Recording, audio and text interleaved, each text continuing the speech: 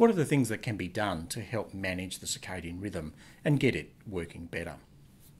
The key inputs to the circadian rhythm and tools that we use to synchronise the circadian rhythm are light, and that can be light exposure in the morning, managing light exposure in the evening to minimise it, using melatonin to reinforce that dark signal, physical activity and movement, particularly first thing in the morning, and timing and regularity of meals.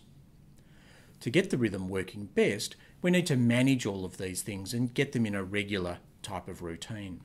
So, that routine starting in the evening is really once the sun's gone down outside, essentially it's dark. So, if we weren't in a modern industrialised sort of world, the input we'd be giving to our brains is there's no light, therefore the time for sleep is coming near. So, that's the time to be very cautious about light in our modern environment. And if there is light, particularly either computer screens, tablets, and you're having trouble with getting off to sleep, then managing that light. Now that's where blue blocking glasses come in to really block that blue wavelength light, which is the key light for delaying the circadian rhythm or inhibiting the onset of sleep with the circadian rhythm and the onset of the production of melatonin that occurs with darkness. So there are either glasses that you can use that block the blue wavelength of light, or if you're using computers and tablets, there's apps such as f.lux which can block the blue wavelength light in both computers and tablets and smartphones. Then, in the morning, at the time that you are normally getting up and the body's sort of ready to get going, that's the time when we want light. So rather than blocking light like the evening, we want to be giving the body that signal, much as we would be if we are sleeping in a cave or sleeping outside. The sun comes up, we get that bright signal. We want to be giving the body that signal hey, sun's up, daytime, time to get going. Now, if it's light outside at the time we're doing that, then outside's best because outside light really is pretty easy and that's the best way of cueing in the body clock.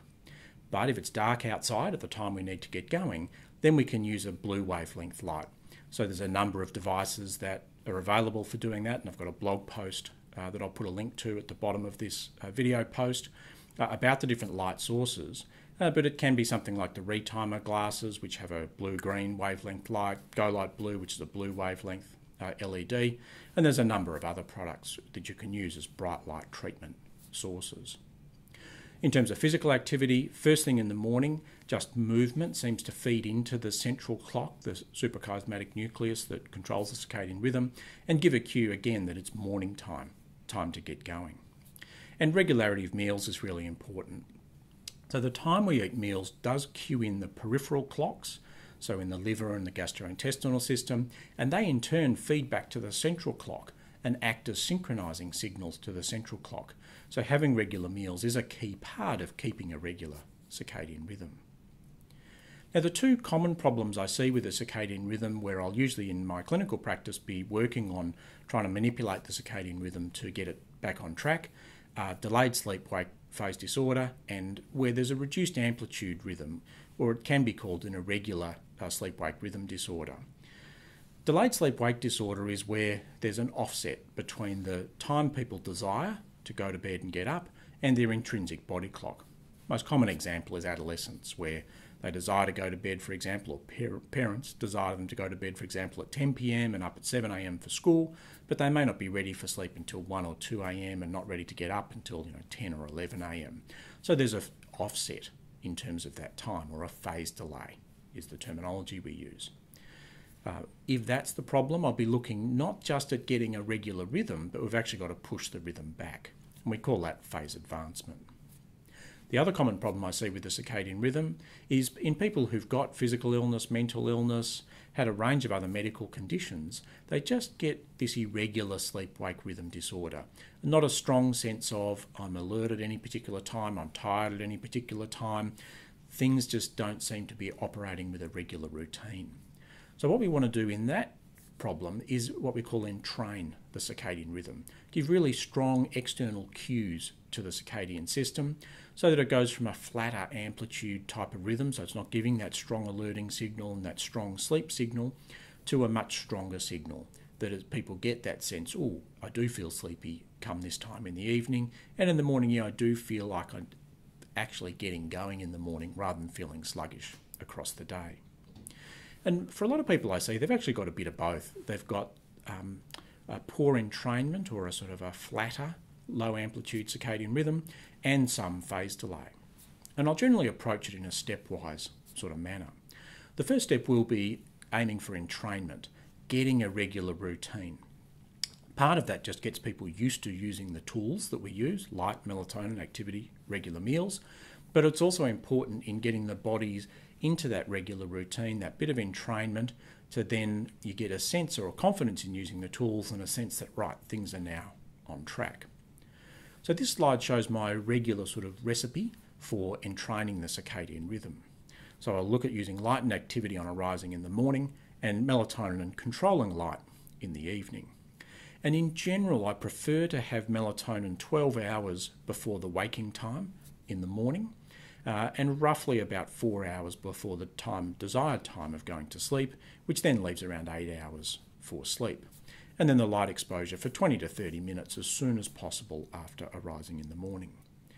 Now, whilst that's the ideal time for melatonin, as that's when the body clock's the most sensitive to melatonin, some people are quite susceptible to the sedative effect of melatonin. So if they're taking it four hours before bed, feel a bit too dopey in that four hours.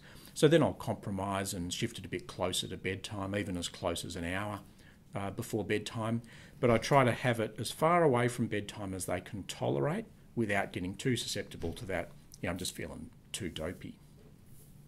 Once someone's got a nicely entrained pattern and confident in using those tools, then I can move on to the next, which is looking at advancing their circadian phase.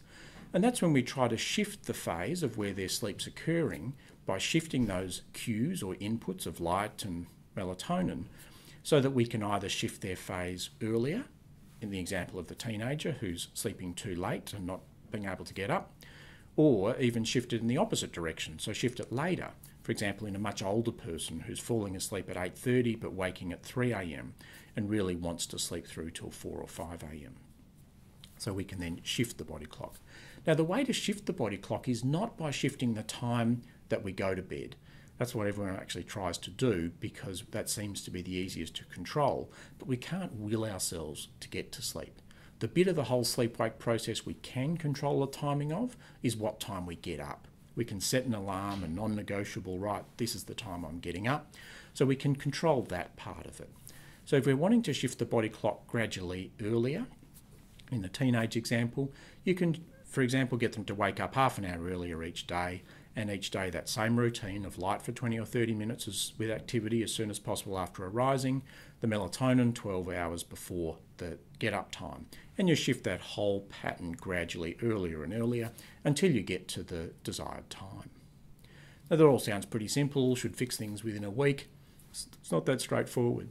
The biology is often pretty straightforward, so particularly for a teenager who's not got other health problems, uh, they can shift their body clock even up to an hour a day um, backwards in that um, earlier pattern.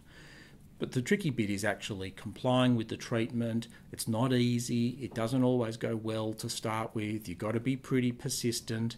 You've really got to sort of take ownership of it and understand how to use the tools and have confidence that it's going to work. So, whilst theoretically it can shift pretty quickly, in practice I find that's often not the case. Now, maybe that's because I see a lot of people who've really got hardcore problems, who've had difficulties over a number of years and have tried simpler strategies at home and they haven't worked. Um, so, yeah, maybe I'm a bit biased in what I see, um, but I do find it tends to be a bit harder than what people think it should be, and that can mean they give up a bit early. So, you just got to stick with it. And I don't get it right, and most of the time I actually don't get it right the first go around. It takes us a couple of goes of using the tools, doing it when we think it should work. Then having a look at what happened, we'll, we'll have got a partial response and then fine tuning the instructions and saying, right, now we're getting a bit better at it, let's move things back. Now, also, there are other times when it can take a lot longer to shift people's body clock, and that's more in people with physical illness, mental illness, medications. Depression's one condition where I really often see the body clock be quite resistant to shift, but if we're persistent, we can get there. Now, a couple of examples. So, the first example is a sleep diary of a Year 10 student I was seeing who hadn't been able to get to school for a couple of terms, and it was really causing problems for her in her academic performance and problems for her parents in terms of they were the mornings were not pleasant for anybody in the household trying to get her up and they were getting frustrated as well because she couldn't fall asleep at night and was sleeping from at around 1am and getting up at around 10am so we put in place the strategies I've just outlined in terms of advancing her circadian phase and because she was otherwise well we wanted to go pretty quickly so I was aiming for about 15 minutes each day of just setting an alarm 15 minutes earlier each day, the light exposure, the activity in the morning, and moving the body clock backwards. And it actually worked pretty nicely. So, over a 12 day period that you can see on the graph there, so got around four hours earlier. So, was getting to sleep around 11 and getting up around 8. So, pretty close to the time that they're after in terms of school, and it was actually working for school because I only had a very short trip uh, to school. So that's an example of when things go really nicely and it's pretty straightforward. The next example is another person I was working with and their sleep diary is turned on its side, so it does look a, a little different. Uh, but they were really having trouble of not getting to sleep off until 6 a.m., uh, not getting up till 1, 2 p.m., and then having periods across six months. And this is a six month sleep diary where they'd run into a non 24 hour sleep wake rhythm pattern. That is a very long uh, period and a phase that just kept drifting. So about an hour later every single day, and they essentially slept around the clock uh, around once a month. So that took a period of entrainment as the first step, which is what this next slide shows, uh, what happened over the next six months, is first we got the rhythm set and felt like we could control the rhythm and set that at around four till noon, had them sleeping, and then over the next six months could gradually bring that rhythm back but after six months had them sleeping from around 11 p.m. through till 8 a.m. And the great news is, is this is someone who hadn't been able to work for around six years and a young adult, highly skilled in the IT industry. And once we got their rhythm back on track, back into full time work, now a couple of years down the track, successfully working, yet had been unable to work for six years. And no other treatments apart from maintaining this circadian phase. But it was tough and it took a lot of persistence and we didn't get it right the first time. So that's one of the key messages. So to sum up, the key inputs to the circadian system are light, physical activity and meals. And using those and paying attention to those uh, means you can actually manipulate the circadian rhythm, get it working better for you and get the timing at a time that's going to better suit you. But it's not always straightforward and I don't always get it right, and I've got a reasonable amount of experience, and it does take quite a bit of persistence. So don't feel if you give it a crack for a week and nothing happens that oh, it's not going to work for me. It probably will work for you, but you just might need some more expert help. For the A to Z of sleeping well, head to the Hub, sleephub.com.au.